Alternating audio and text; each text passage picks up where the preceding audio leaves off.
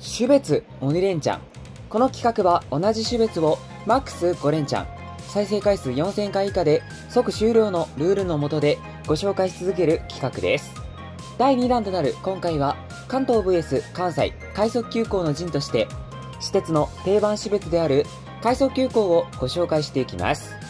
最初はこの藤沢駅から小田急線の快速急行をご紹介。小田急線でよく見る快速急行はどんな私物なのでしょうか？めちゃめちゃ施設、今回も最後までよろしくお願いします。めちゃめちゃ施設。ということで、今日乗る電車はこちら。藤沢駅9時56分発、快速急行の新宿駅です。まず、小田急線の快速急行は、小田原線と江ノ島線、多摩線の全線で走っている種別ですが、江ノ島線が一番急行との違いが明確に出ます。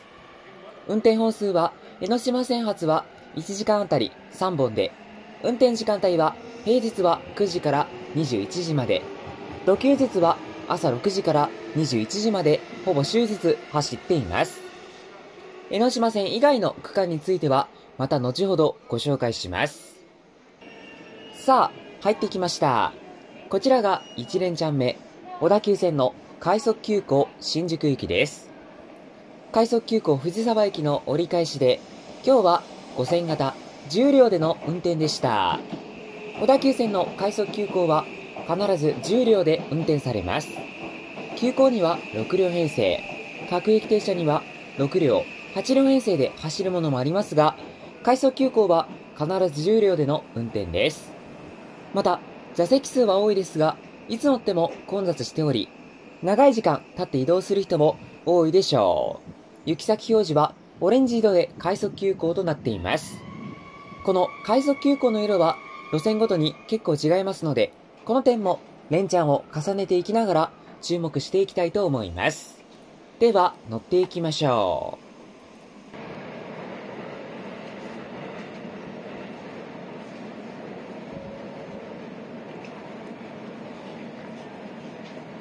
めちゃめちゃ施設藤沢駅を発車関東 VS 関西快速急行鬼連チャン。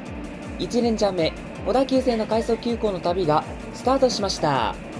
今回はこの小田急線の快速急行で途中の代々木上原まで向かいます。代々木上原までの所要時間は52分。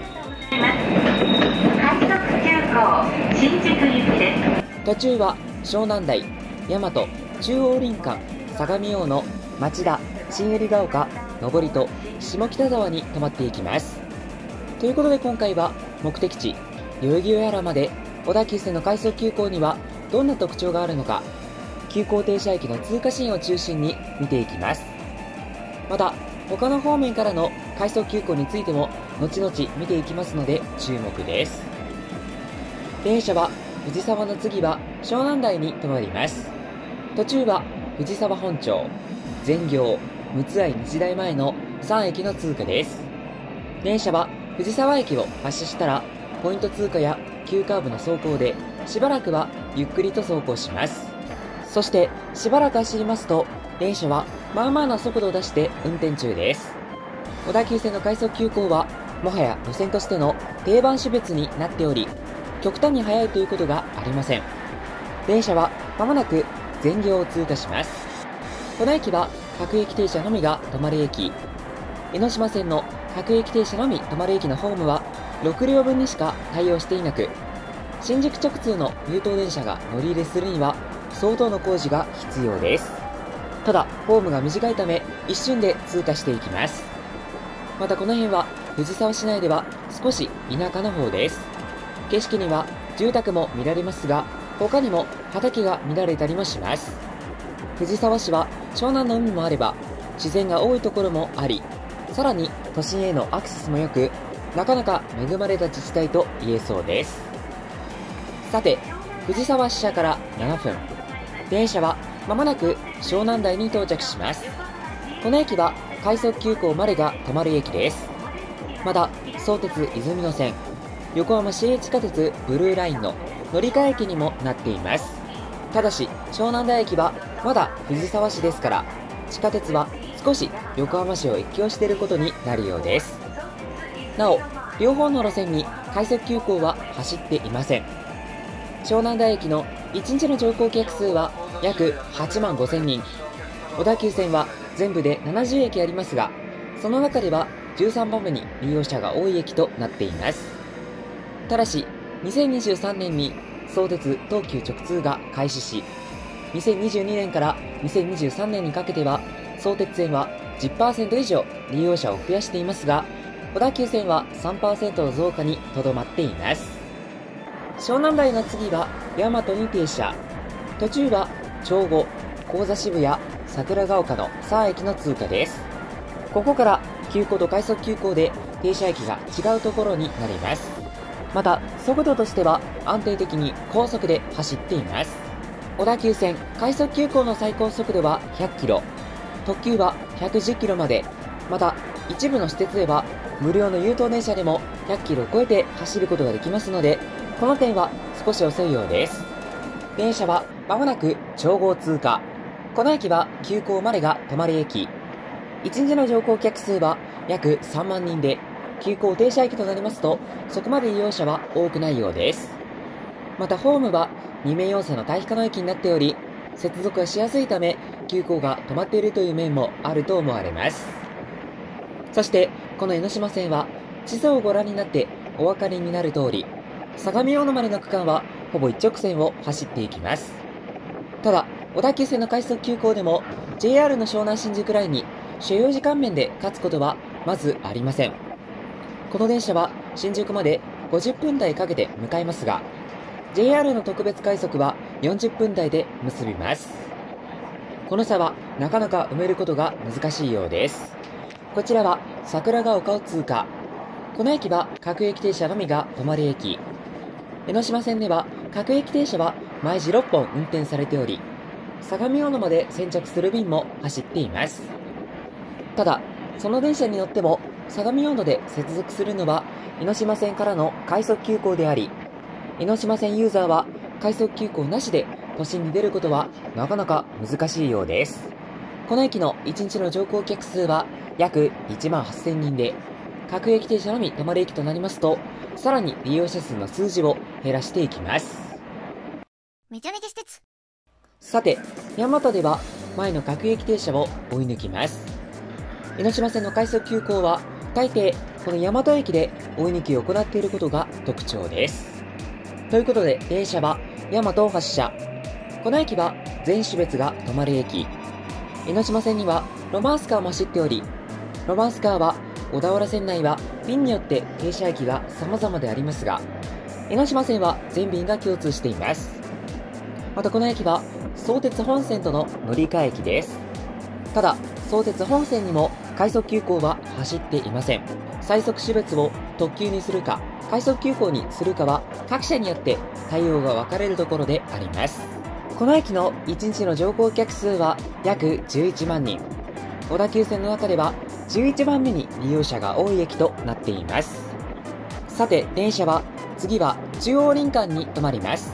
途中は鶴間、南林間の2駅の通過です。ここも急行と快速急行の違いであります。そして電車は相変わらず安定的な速度で走っています。これが小田原線に入りますとどうなるのでしょうかこちらは鶴間を通過。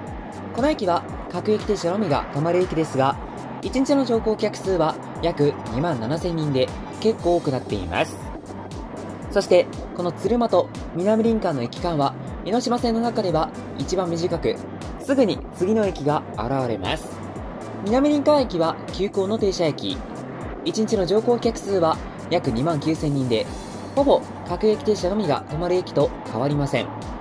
なお、江ノ島線の急行はかなり本数が少なく、朝と深夜帯にしか走っていません。朝の上り便も平日は小田原線内は快速急行に変わりますので、全区間を急行で走る電車は非常に少ないものとなるようです。さて、藤沢支社から18分。電車は間もなく中央林間に到着します。この駅は快速急行までが止まり駅。1日の乗降客数は約9万人で、小田急線の中では12番目に利用者が多い駅となっています。この駅は東急田園都市線との乗り換え駅になっていますが、田園都市線にも快速急行は走っていません。田園都市線で一番速い種別は急行。かつては快速も走っていましたが、合わせて快速急行にはなりませんでした。中央林間の次は相模大野に停まります。途中は東林間の一駅の通過です。ここが江ノ島線内最後の通過区間となっています。さあ、景色にはいろいろ団地のようなものも見られていますが、こちらは東林間を通過。この駅は各駅停車のみが止まる駅です。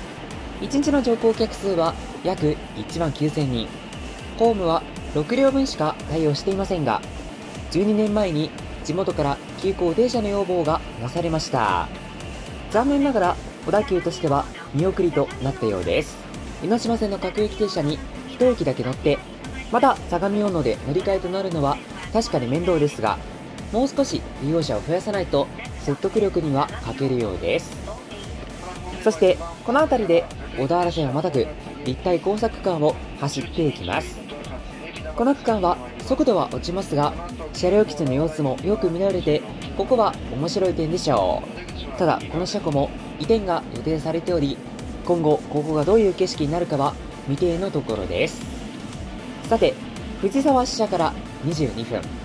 電車はまもなく相模大野に到着します。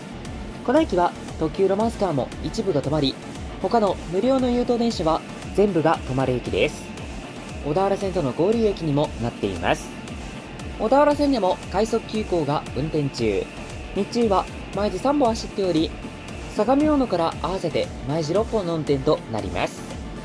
なお、相模大野から小田原までで、急行との違いは回線に止まるかどうかですが、現在、新松田から小田原までの快速急行は1日1本だけであり、実質急行と快速急行はこの先の下り区間に違いがありません。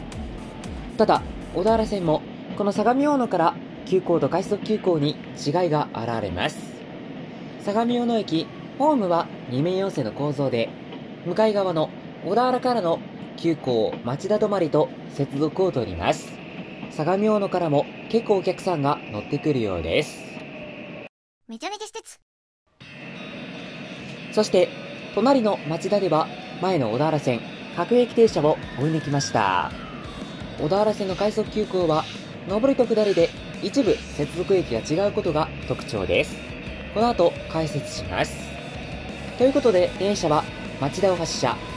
ここからは本格的に小田原線を走行します。なお町田駅も特急ロマンスカーが一部止まる駅です。小田急線では2番目に利用者が多い駅となっています。さて、電車は次は新百合ヶ丘に停まります。途中は玉川学園前、鶴川、柿尾の草駅の通過です。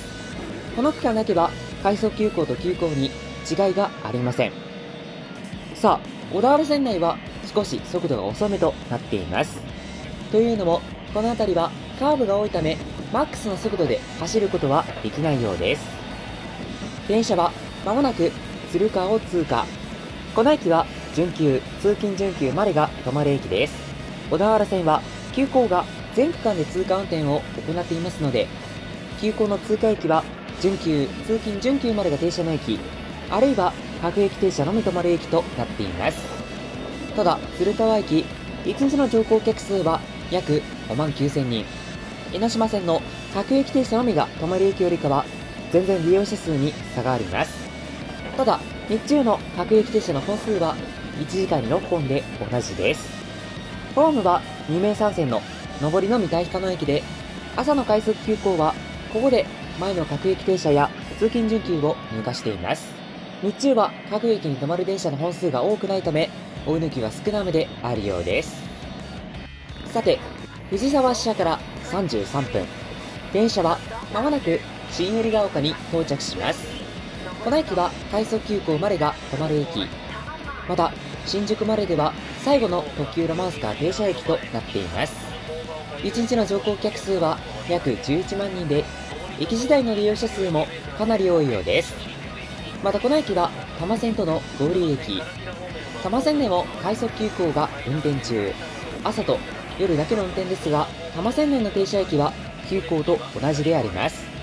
つまり、新百合ヶ丘から先の小田原線内で通過駅を多くしたい時に走っているみたいです。新百合ヶ丘駅、ホームは3面6線の構造で、下りの快速急行はここで前の各駅停車を追い抜き、上りの快速急行は江ノ島線発は特に追い抜きがありません。ただ、小田原始発については、ここで多摩線からの急行を抜かします。なお、夜の便については、ここで前の各駅停車を抜かすこともあるようです。時間帯によって接続パターンが異なるのが小田急線の快速急行となっています。新百合ヶ丘の次は上り戸に停まります。途中は百合ヶ丘、読売ランド前、生田、向こうが丘遊園の4駅の通過です。ここは快速急行と急行で停車駅が違うところとなっています。また、景色を見ますと、この区間は道路と並行して走っていますが、車の様子を見ますと、小田急線の快速急行の速さがよくわかるかもしれません。ただし、この辺りはカーブも多い中、電車はまあまあ速度を出して走っています。こちらは読売ランド前を通過。この駅は準急までが止まり駅。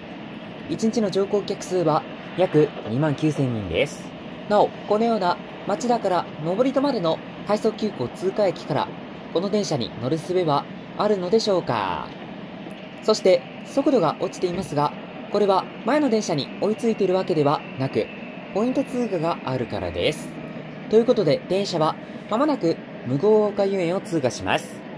この駅は急行までが止まる駅。1日の乗降客数は約5万1000人です。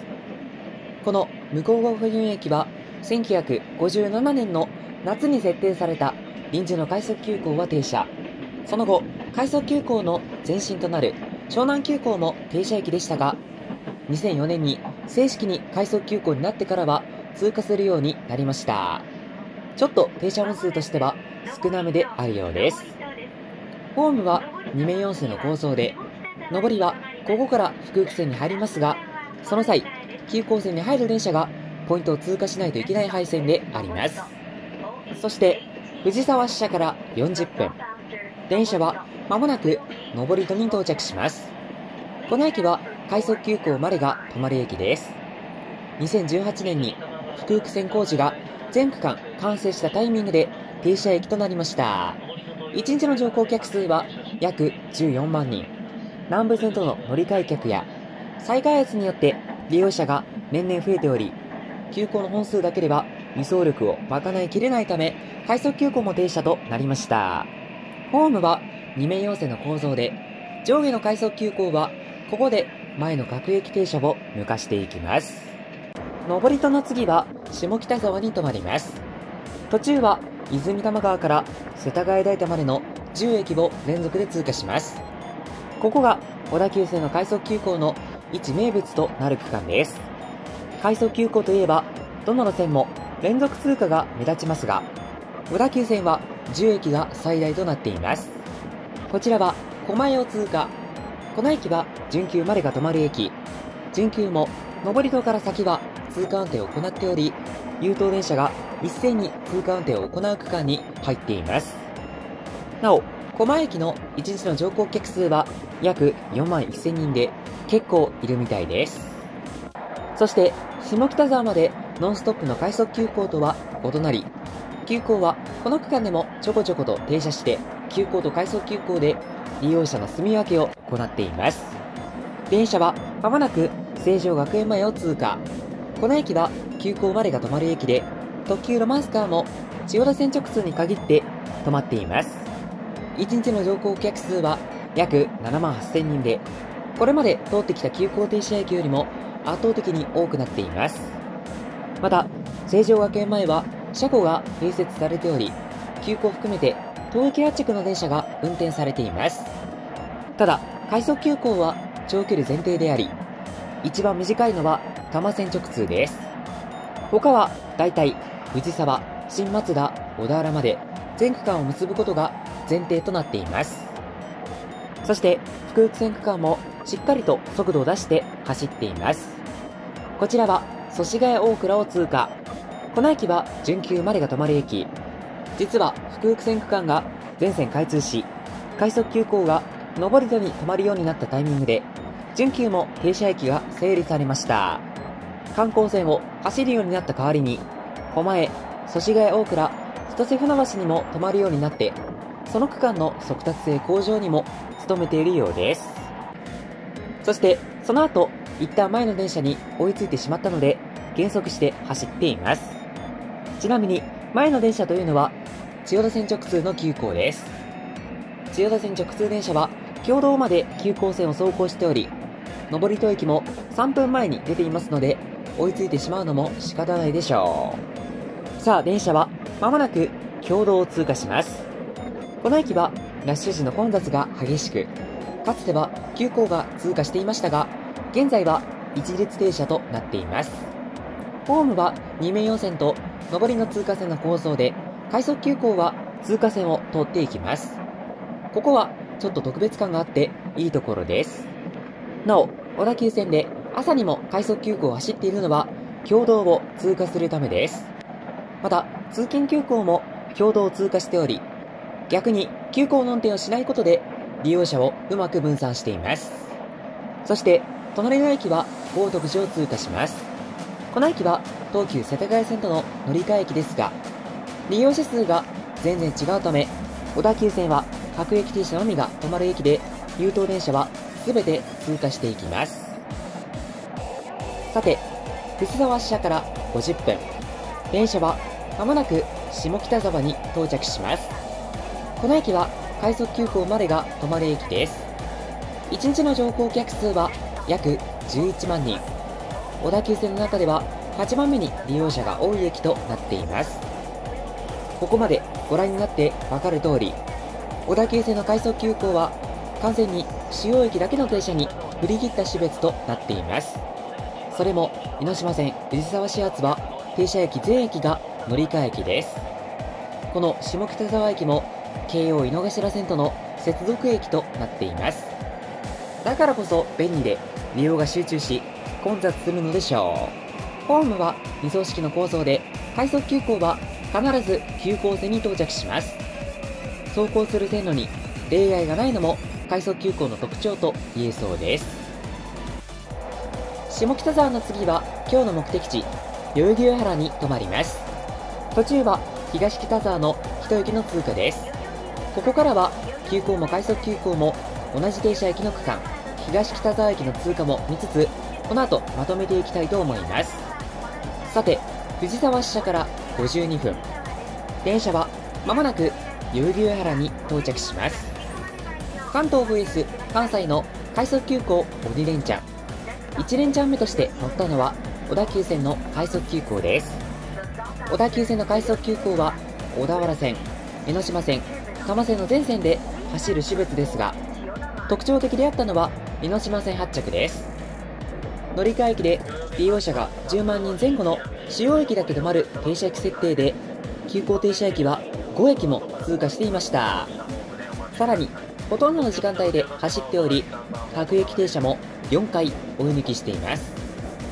また、上下で接続駅が少し異なるのがちょっと面白いところでしょう。また、最大の連続通過駅数は10駅です。代々木原駅、ホームは2面4線の構造で、向かい側、前の急行我孫子駅に追いつきます。これと、相模大野駅での急行町田駅含めて、合計6回追い抜くことになるようです。乗ってきた電車は、次は終点の新宿に停まります。終点の新宿までの使用時間は、あと5分です。なお、急行は、千代田線直通もたくさん走っていますが、快速急行は地下鉄直通での運転がありません。この直通運転との関係は、他社ではどうなのでしょうか？今後見ていきます。さあ、これを踏まえて、この動画の再生回数が4000回を超えたら、次回は近鉄線及び阪神線の快速急行について見ていきます。果たしてどんな特徴があるのでしょうか？その前のつなぎとして、めちゃめちゃ施設。次回は11月4日月曜日に、京王線の夜の急行電車のパターンダイヤについて見ていきます。夜のラッシュ時間帯に、上りでも10分間隔で走っている京王線の急行。実は明確な運行パターンに分かれているんです。今回はその接続や本数などを詳しく見ていきます。お楽しみに気になる方はぜひチャンネル登録をして配信をお待ちください。番組の感想は X でハッシュタグ新土地をつけてポスト。